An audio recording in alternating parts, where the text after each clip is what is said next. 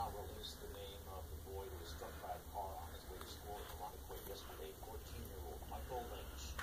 He was walking to school as a freshman at Irondequoit High School.